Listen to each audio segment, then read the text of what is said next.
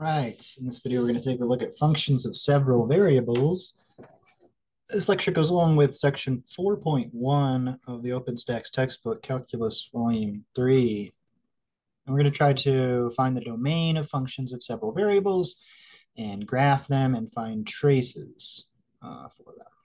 We're really just looking at functions of two variables here. Uh, though some of this stuff can be easily extended to functions of three or more variables.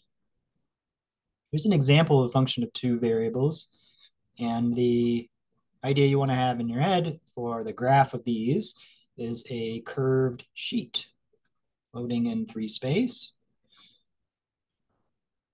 The function equation usually have x and y as independent variables, and then z can be the dependent variable. And then so the domain is the xy plane or some subset of that, and then the range is the z-axis. Here's the official definition from the book for a function of two variables. You want to keep in mind that the input is a pair of numbers, right? As opposed to the functions you're first introduced to where the input is a single number. Now it's a pair of numbers. Uh, and the output is still a single number, just like a function of a single variable.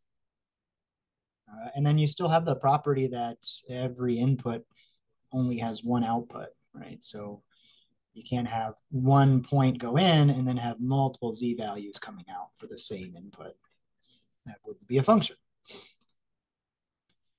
Here's a quick review of some of the notation things we've seen for functions so far. Starting at the top from pre-calculus, a function of a single variable y equals f of x was the notation for the equation. And, and then if you look at more advanced mathematical notation of the mapping, uh, you might say that f maps the real numbers to the real numbers, which just means a single number goes in and a single number comes out. Now, in chapter three, before this, we looked at vector valued functions. Uh, for a two-dimensional vector, uh, we had r as a function of t, and it was composed of two component functions. Uh, f and g were common uh, letters to use for the first and second component functions. And uh, the mapping then, uh, R mapped a single number of the input, which was T, uh, to a pair of numbers for the output, right? There was a number for F and a number for G, giving you a two-dimensional vector uh, or a size two vector uh, for the output. And very similarly, the three-dimensional vector R had component functions. We just now have a third component function, H.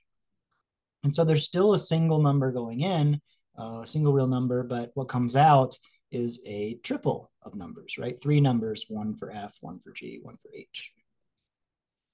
Uh, well, now we're covering functions of several variables, and uh, Z is going to be thought of as a function of X and Y. And so the mapping uh, takes a pair of numbers in and then puts out a single number. So you, know, you want to compare uh, the functions we're looking at now to those in chapter three and, and see how we've kind of reversed the mapping um, from a single number in to multiple numbers out to multiple numbers in and a single number out. We're going to talk about finding domain of these types of functions. So it's good to review the domain for some common functions with restricted domains from pre-calculus. So one through four have functions of a single variable. Uh, and then we have some uh, domains over here to match them with. So take a minute to match the function with its domain. And pause the recording if you need some time.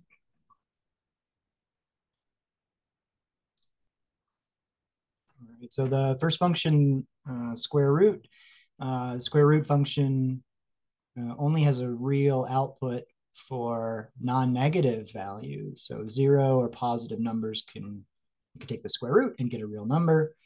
So that's usually the domain you work with, and that corresponds to answer choice C. Uh, for number two, you've got a reciprocal square root, and so now zero is not okay because square root of zero is zero, but you can't divide by zero. So the positive numbers are still good, but you can't use zero, uh, and so you're just using strictly positive numbers, which would be answer choice D. Natural log is a lot like square root and in fact has the same domain as the reciprocal square root. So uh, natural log of a negative is going to be complex valued, and the natural log of zero is just undefined in the same way that division by zero might be thought of as undefined. So it's going to have the same domain as number two, which is D. And then the uh, last one, number four here, the reciprocal function, the only problem is division by zero, which happens when x is zero. So we just say that x can't equal zero, which is answer choice B. Uh, you should also be aware of the domain restrictions for trig functions uh, like tangent and secant, cosecant, cotangent. So finding domain of a function of several variables is the set of all points x comma y uh, that you can put in and get a real value for z. So look for those same restrictions. Square roots are technically any even index root uh, or any exponent with an even denominator. Uh, fractions, because of division by zero. So fractions where the variables are in the denominator. Uh, logarithms, and then those trig functions we mentioned. Uh, so here's an example of a domain of a function of two variables, g of x, y, and we want to find its domain. So what we're going to do is say, okay, which of these property, so which of these operations do I see? Uh, I see a square root. And so I to remember that for square roots, the radicand or inside of the square root needs to be non-negative. So one way to find the domain is to take that radicand and to set it greater than or equal to zero. Uh, now, this is a, an inequality of two variables, so I can't solve for a single solution. Um, instead, what I get uh, is often a two-dimensional graph. Um, but rearranging this equation, uh, it does end up looking like the equation of a circle centered at the origin radius 3. Uh, in fact, it's it is that circle with that interior, making it a disk uh, centered at the origin radius 3. And so you could graph that inequality as a circle, and then you shade it in the interior. So all these points inside this circle and then on the boundary are what make up the domain of this function. Um, now you may want to graph these things uh, in something like GeoGebra, 3D Grapher. There's a link here. And it's really easy to put these in. You just type in exactly the equation you would expect uh, into GeoGebra's 3D Grapher. Uh, and it will recognize it's the surface. And then you can rotate this around and kind of get a look at it uh, as a three-dimensional object. And then you realize, oh, well, this is just the top half of a sphere centered at the origin radius three, uh, which is correct. Um, if you were to take the equation of a sphere centered at the origin radius three, uh, which would be, we saw this in chapter two, Oops, z squared equals nine.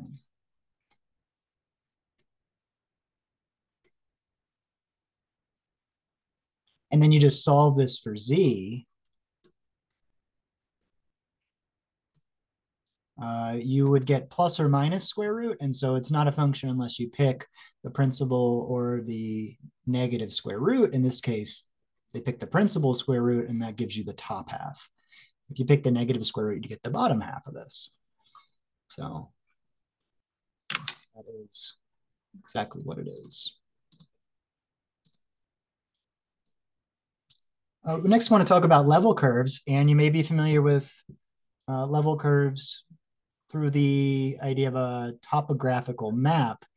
Uh, topographical maps are used to convey information about uh, elevation changes and geography on a two-dimensional surface. Uh, and these closed concentric shapes that you see in the topographical maps, which are known as the called contour lines.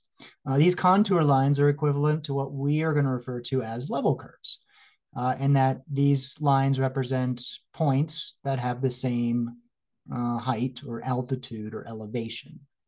Uh, this specifically is a contour map of Devil's Tower. The Devil Tower National Monument is in uh, Wyoming. Here's the official definition of a level curve. You just take your function of two variables and you set it equal to a constant, right? And every constant will give you a curve and the, so are all level curves. So we can easily find these uh, by just putting a constant n for z and then working with that equation. Uh, it'll often result in a uh, two-dimensional graph uh, of a relation or some kind of curved line. Let's take that same function we were working with earlier. g of xy equals square root of 9 minus x squared minus y squared. Let's put in a constant here uh, on the left side for the output. And these are the set of level curves, right, for every value of c. Putting in a specific constant like 0 will give us a specific level curve. Uh, in this case, we get the circle. That is the boundary of the domain. Uh, if you put in C as one or two, you will get smaller concentric circles um, because, of course, you know, that outer circle is the biggest one. And so they're all going to be circles. Uh, they get smaller and smaller as C gets bigger. Uh, and then I think C equals three is the biggest that you could get. And that would actually be just a point in the middle. Uh, values of C that are bigger than three or less than zero won't result in a level curve. So, you know, you can't do it for every value of C, but uh, often we'll pick numbers like zero, one, or negative one uh, and find some level curves. And we can then get a two-dimensional graph that simulates the three-dimensional graph. So this was a really popular practice before we had good technology like GeoGebra to just instantly get a three-dimensional graph. Um, people would do this to get a better idea of what this shape was like. Now, another way we might want to look at these functions of several variables is a vertical trace instead of kind of slicing with a plane that's parallel to the xy plane. Uh, the vertical trace would be uh, a plane parallel to the yz or xz planes. And what you do is instead of making z a constant, you make x or y a constant.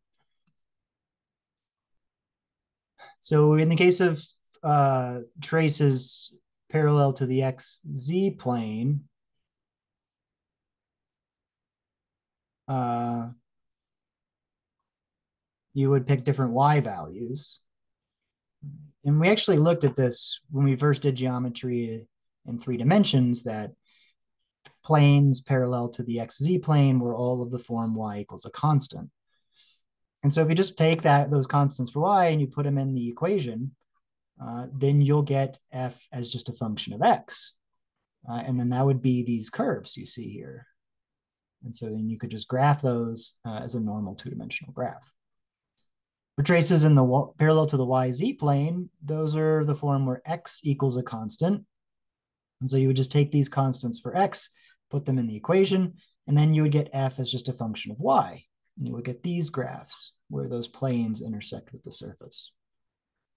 So we just pick some values for x or y and put them in the equation, and it turns an equation of two variables into, or sorry, a function of two variables into a function of one variable.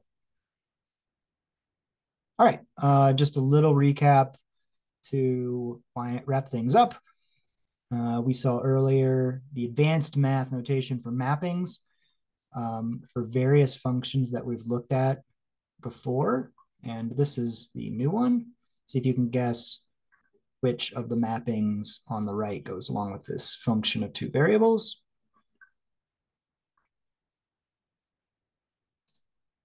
And so the correct answer is C. All right, the input is a pair of numbers. So we use R2 to represent uh, pairs of real numbers. And then it maps to a single real number because it has a single output Z.